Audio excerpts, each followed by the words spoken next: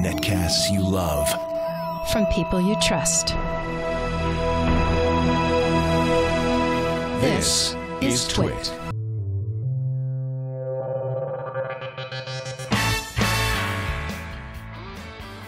This is Twit Live Special number 293, recorded July 19th, 2016. Wearable Tech Conference, San Jose.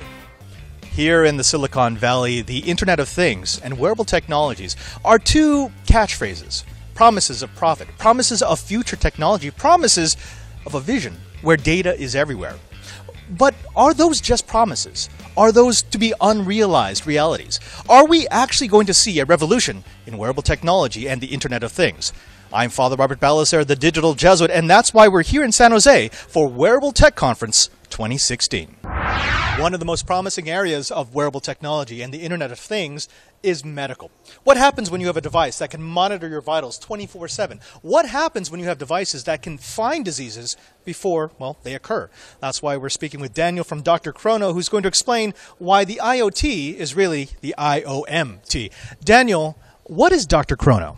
Dr. Chrono is a mobile medical record platform for doctors and patients.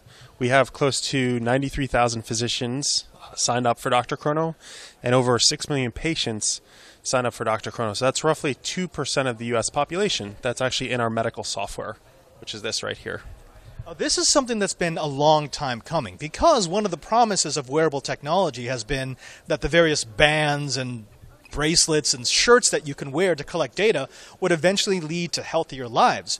That promise has been, well, a little lacking in the fulfillment because the data is so disparate and the devices are so different. What have you had to do in order to consolidate that and turn the data into something meaningful? Sure. So we sort of curate the actual devices that go into the medical record in Dr. Chrono. So you can see here we have Dr. Chrono on the iPhone and on the um, iPad here. We also have it on Apple Watch.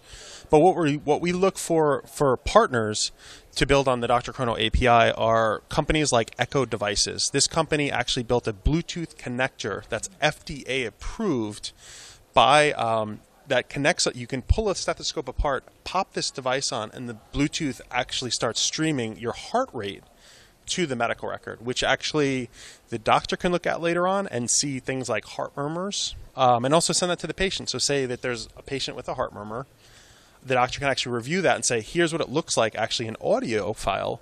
Send that to the patient and they have it for their life. Super powerful and that's one of the things that we were promised when we first heard about medical technologies, medical wearables, and medical Internet of Things. But, but tell me, what are the, the privacy concerns? Because anytime you start getting into health, you start getting into HIPAA. You start talking about data that must be kept secure, that can be shared with patients' permission, but should never just be out there. Does that make it a little bit more difficult to develop a comprehensive Internet of Medical Things software?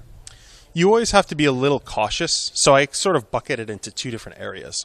One is non FDA approved devices. So that's like your Apple Watch, where you have your data coming in as a as a patient.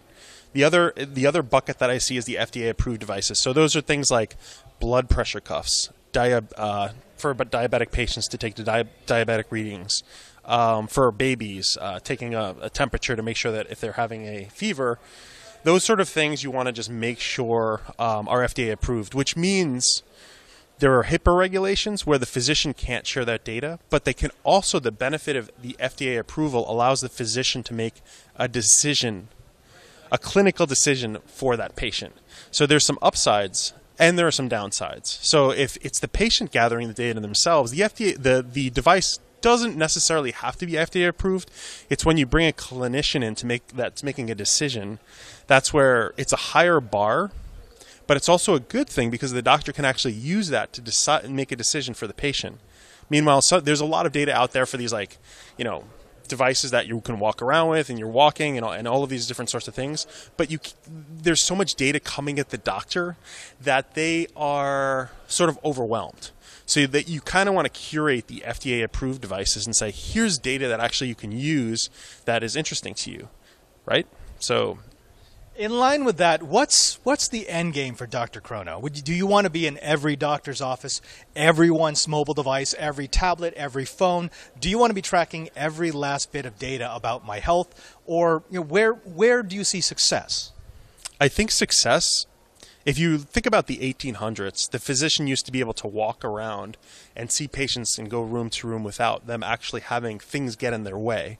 A lot of doctors today see the technology getting in their way. Have you ever heard of a cow? Like moo? Not that cow. There's actually something called a computer on wheels.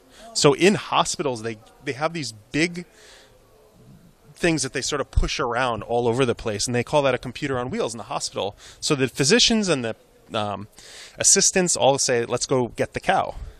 It literally slows them down, and then instead of me taking care of you and taking care of the patient, I turn away, I start typing and looking at this, not even interacting with you and not taking care of the patient. Right now, sort of the technology is getting in the way. I think the long term vision of our company and the Internet of Things, healthy things, is to allow the data to be collected, allow the doctor to do their job, allow them to get up, walk around like with an iPhone, enter data very quickly in a really simple way, not having them spend extra hours doing addition, additional work, but also giving them insights into the patient. Imagine being a doctor and seeing 30 patients a day.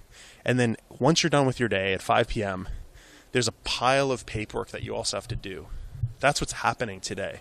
So if we get the medical record down to this elegant solution and allow all this data to flow in that gives you insights, that's the vision of where we're trying to go.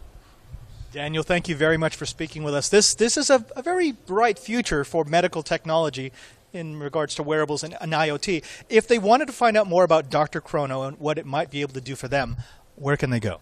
Uh, drchrono.com is the best place.